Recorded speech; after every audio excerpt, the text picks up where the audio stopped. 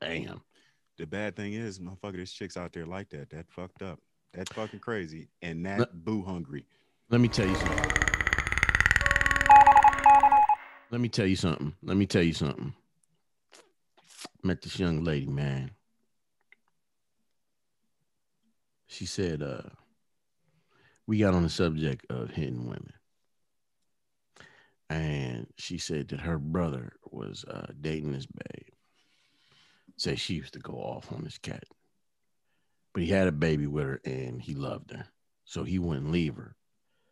So one day, uh, they got into an argument and he was leaving and uh, he felt a pinch in his back.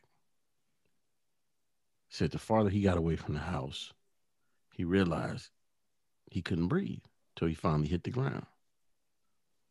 Come to find out, this bitch stabbed him in the back. Took a kitchen knife, stabbed this man in his back. Jesus. So when you say some shit like it's women out there like that, my brother, it is women like they're out that out there like that. Holy shit. I'm telling you, man, it, it's like you know, How was she built though?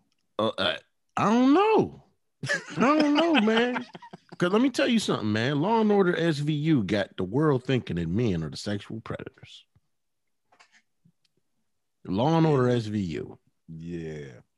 They don't Got they, them they- thinking men are violent. Don't nobody want to talk about, man. You can play video after video of these young cops, especially these black dudes. Some of them should have had more fucking sense, but they go up in them, them white bars around them colleges, and they one of them white girls get to talking shit, kick them in the nuts, Mhm. and then as soon as they defend themselves, they lose their scholarship and all that shit. Yeah. I'm telling you, man, it's it's it's a cold world, man. Like Like that time Snooki got her ass whooped. who? Snooki. you- Oh man, she was talking. Okay, you remember? Um, was it Jersey Shore? All them raggedy motherfuckers. I never watched that shit. Nobody ever wants to watch it. It's, I didn't know you was talking about that Snooki, but I never watched that shit. This was when she was fat or skinny. She ever skinny? No, I mean, she like- lost a shit. She lost a shitload of weight. Yeah, but it looked like Coke weight. that ain't like I'm in shape weight. That's Coke weight, nigga. Um, That's that protein powder for real. what Nah. supplement you on, Coke? I think it was fat That girl. I'm on that girl. oh yeah, you picked that up at GNC. in the back. Dear Lord. Man, yeah, brother, man. It's wild, man. It's wild, man. This chick, she went in the bar. She said something to the wrong cat, and that motherfucker. I think she took a swing at him. That motherfucker beat the shit out of her, man, See? right there on camera. But they made it seem like she's the fucking victim. Of course, because my thing is this: if you a motherfucker just whooping on a woman, abusing her, you know what I'm saying? That that's some sick shit. You really are a demented motherfucker. But if it's some shit where a woman putting her hands on you, we're human beings. You know what I'm saying? It's only so long before a motherfucker's gonna crack you back. And usually, when you see these videos, you see these cats take two, three hits, four, five hits.